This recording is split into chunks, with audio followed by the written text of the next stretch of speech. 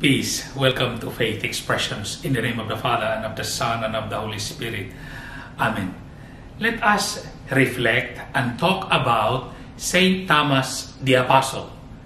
Saint Thomas the Apostle, July 3rd is his feast day. If we think about people, about friends, many times we can think of them and we remember them of the funny moments or the, something odd, something funny, maybe something sometimes uh, negative about the person. Uh, similar is happening with Saint Thomas.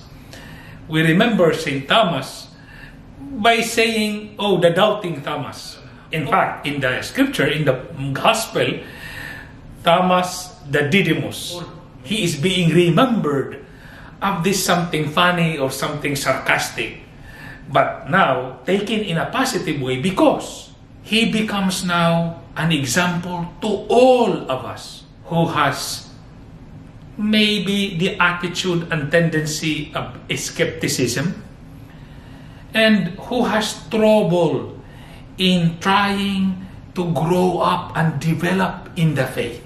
But in as much as he is famous of, of this doubter, of this being of this being a doubting Thomas or a being skeptic, he should and we should try to see him as an example of deep faith. He said to Jesus, My Lord and my God. This is also equally important about who Saint Thomas the Apostle is. And this is what we can learn uh, as a lesson from his life. Let us go to the particulars.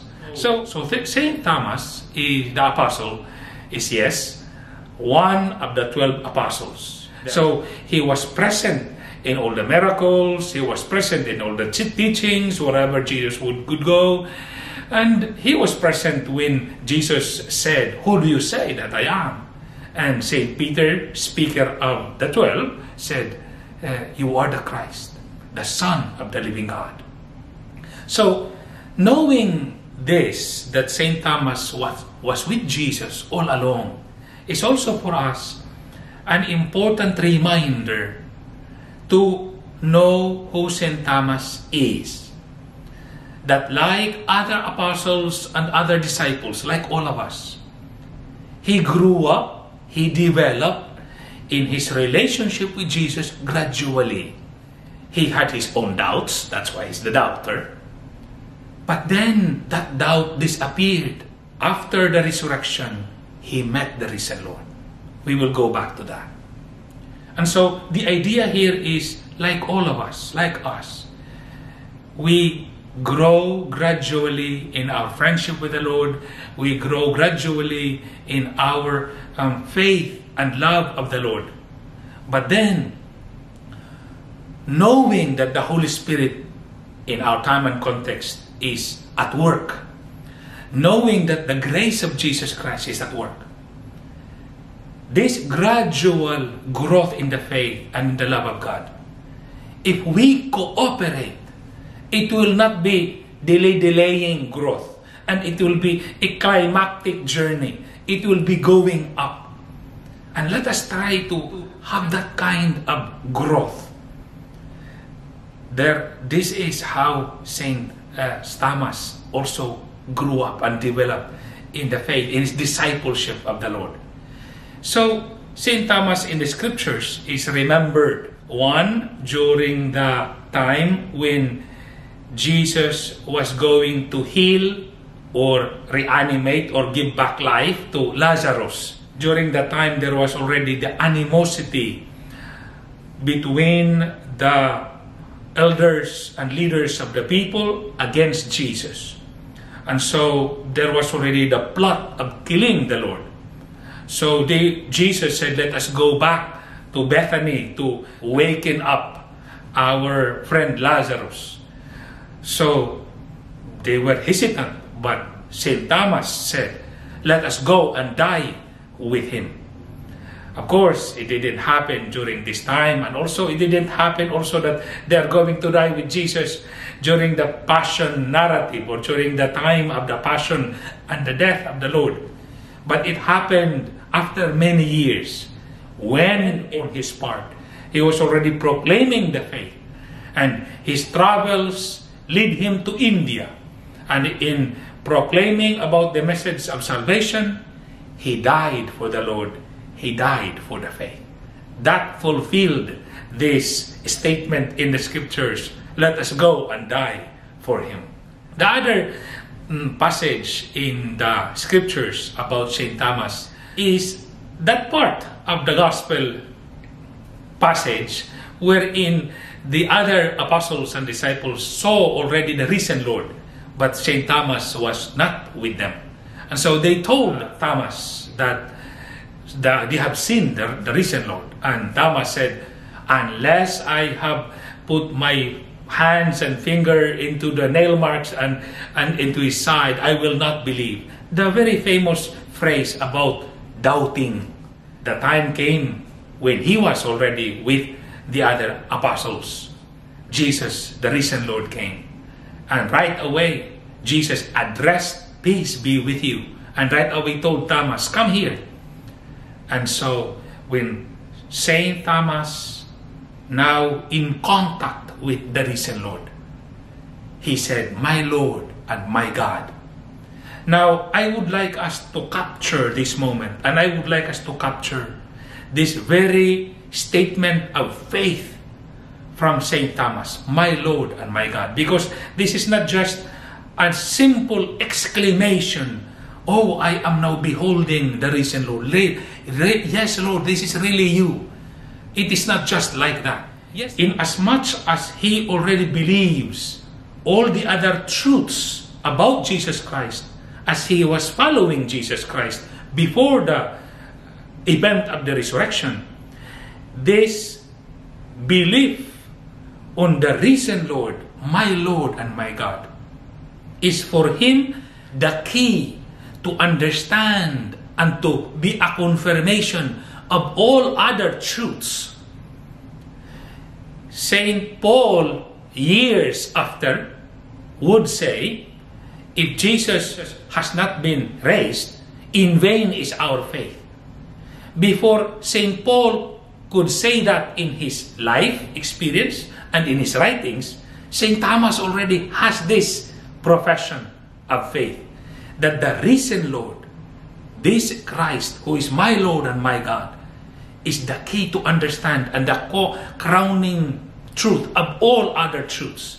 For him, therefore, it would be like this. He already knew Jesus is the Son of God. So, St. Peter said that, all others. So they believed. He believed. But then, not until now, he would say, My Lord and my God, Son of God.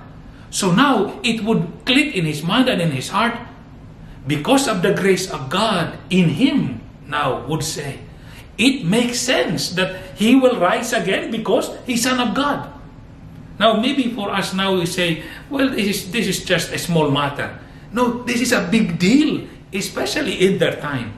Now Saint Thomas was was there in all the miracles that happened. He knew Jesus is a, man of power. Yeah. But then, not until this profession of faith, my Lord and my God, it would click in his mind and in his heart say, it makes sense that he has power over life, he has power over the demons, he has power over sicknesses, he has power over nature, he stopped the, the storm at sea. It makes sense because he is Lord and God. You see, this is an example that we can take from St. Thomas the Apostle. The lesson that he himself lived and has discovered and has afterwards proclaimed Jesus is Lord and God, my Lord and my God. And that is why we take now this lesson to our life. If we take the resurrection as key to understand also all other truths in our Christian faith and also in our Christian living. Always be focusing on Jesus, the risen Lord. It will be like this. It will make sense to believe in the real presence of Jesus Christ in the Holy Eucharist. We would say it makes sense because Jesus is alive. You see? Because Jesus is alive. So, He is present because He is alive. There wouldn't be a real presence in the Holy Eucharist if Jesus is dead. Because after all, there will, there will be no sense having the, the Holy Eucharist. Also, it will make sense. Jesus said, I will be with you until the end of the age. It would make sense to truly believe in the words of the Lord Jesus Christ because He is alive. It would also make sense in our time and context to believe in the church, the church of Jesus Christ, the bearer of the Word of God, the, the bearer of the presence of the Lord in our midst, the bearer of the authority of Christ in our midst. This is the church. It will make sense that we have to believe and respect and honor the mother church because Jesus is alive. He reigns and rules and is present. And he is the head of the mystical body, the church, because he is alive. You see, everything will make sense. Capturing this statement of faith coming from St. Thomas. And so also this statement in the from early from the early years of Christianity from during the celebration of the Eucharist of the Mass and on the consecration. And once the priest would elevate the host the body of Christ would elevate the blood of the Lord the chalice. We repeat the statement from St. Thomas, my Lord and my God. Every time there is now the elevation of the body of Christ, my Lord and my God. We adore. This is from Him. And of course, many times this kind of devotion is forgotten, but speaking and reflecting about the life of St. Thomas the Apostle, let us recapture this um, devotion of adoring the Lord Jesus in the Holy Eucharist during time of consecration, during the elevation, we say, My Lord and my God. This is from St. Thomas. And so from St. Thomas, we have this example and we have this lesson. Also in our time, let us be captivated, let us be empowered by our faith in the risen Lord. And with the example of St. Thomas, let us also be enthusiastic to share our faith to others. God bless. St. Thomas, pray for us. In the name of the Father, and of the Son, and of the Holy Spirit.